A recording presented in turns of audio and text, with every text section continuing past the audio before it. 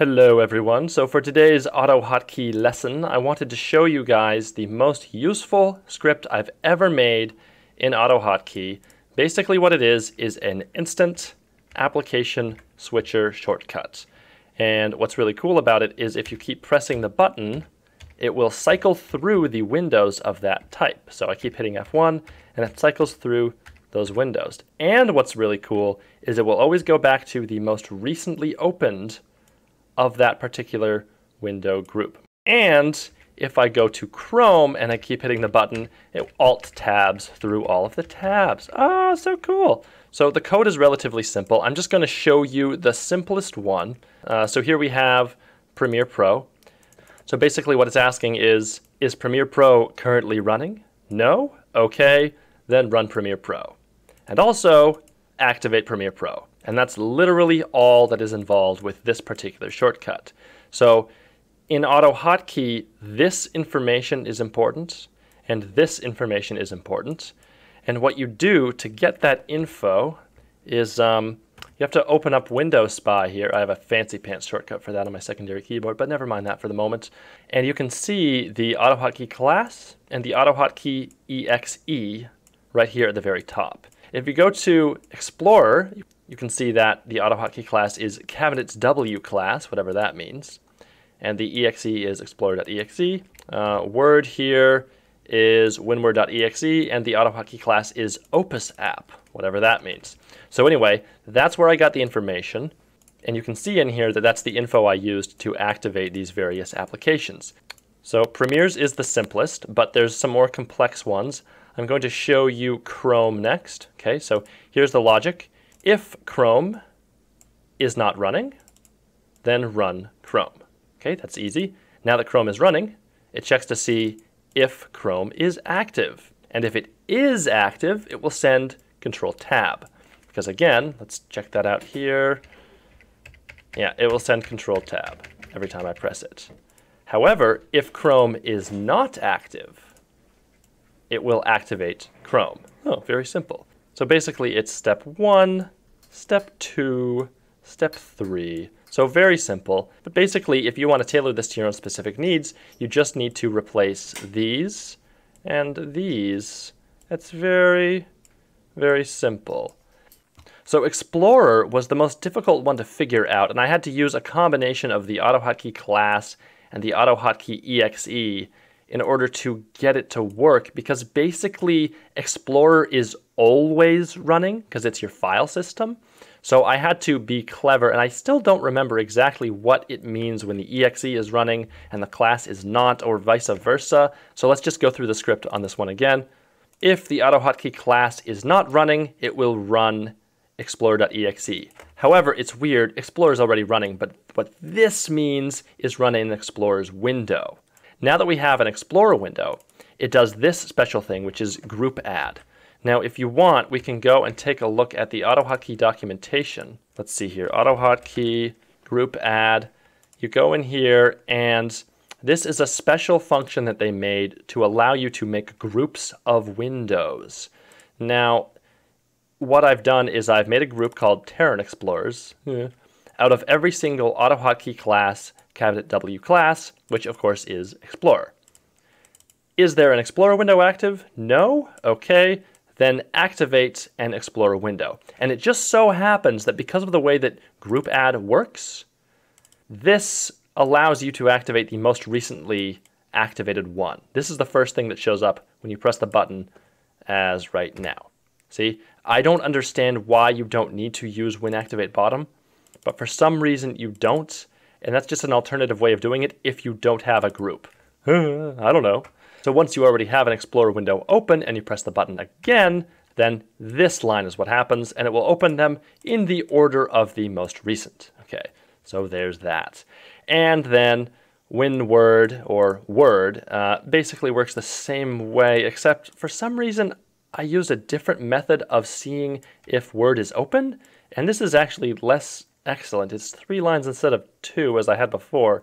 But yeah, whatever. It checks to see if word is open. It will uh, add group Taran words and then activate those in the same way that you saw up here. So anyway, So anyway, I just wanted to explain kind of how that works so that you can tailor these scripts to your own specific use cases. And you can add however many applications you want to your script. So I only have four of them on my function keys right now, but I could use every single function key if I really wanted to and have applications on every single one. Now, the problem with that is that your function keys are now useless for all other tasks. And I don't like that because I like to use my function keys for various things. So this script that I'm showing you here is kind of a dummy, and it's not the script that I personally actually use. So the script that I use can be found in Windows Mod Various Functions, and I'm going to disable the other one now. Let's exit out of that one. And let's look in here. So I have it actually on Control Numpad 1, Control Numpad 2, Control Numpad 3, 4, and so on and so forth. But I used such odd key combinations because there's very little chance that these are going to be maps to anything in any of your programs. So unlike function keys 1 through 4, control numpad 1 through control numpad 4 are not really used for anything in any program. So I'm safe to use these as the keys that activate the actual scripts themselves. Now, I don't press these myself because that would be a very long distance between the control key and the numpad, and I'd have to use my left hand to go all the way over here. It'd be a real pain in the butt. No, no, no. Instead, I just have them all mapped to my macro keys down here. So this is control num6, control num3, control num2, control num1, and this one is F13, which uh, never mind exactly why. I wanted to have it be just one key because I'm doing experiments with this one. But it could have been control numpad 0 or whatever. It doesn't matter. It's completely arbitrary. The point is that I wanted to have these keys available on my left hand because it's always sitting here. My left hand is always sitting here. And these keys are very easy to press just with my pinky or my ring finger very quickly. And that's the point, is that they're more accessible down here than they are even up here. Now for you, if you don't have a G15 keyboard, which you probably don't, you're probably going to have to put them on the function keys, but that's just fine you will no longer have F1 working as the help menu, as it does for many programs, but whatever, you don't need help, do you? You're perfectly mentally stable. Probably, unless you're watching me, in which case, maybe you're not. so before I started using keyboard shortcuts to do stuff, I actually would go down and manually click on every single application in order to switch to it. And this is incredibly stupid because you're using your mouse in the program, you're doing stuff, you gotta go all the way down here, click, then you gotta come all the way back up, do stuff, come all the way down here, click, go all the way back up, do stuff, go all the way down here. This wastes minutes of time per day. It really does. So I started using uh, Windows key 1, Windows key 2, Windows key 3, and so on and so forth in order to switch between applications, and I had those mapped to these keys down here. But the problem is, if you hit Win key 1, it only opens the leftmost window of whatever that group of windows is. You see that? And then you have to actually keep holding down Windows key and keep hitting 1 to go between and it like shows it's it's weird. And then you let go and then it actually opens that particular window. So let's do it for Word. Windows key 2, 2, 2, it goes to the third one. You see, that's really screwy. I don't like that. So now that I've found this new method of doing it, it's just so much better. I can go to Premiere, so I can just be working in Premiere and hit the Word key, and I have my script up right here. I can hit the Explorer key, and I can go grab a graphic and then go back into Premiere, and then go back into Explorer, and it's just magnificent. This works really well. I think everyone should have this script.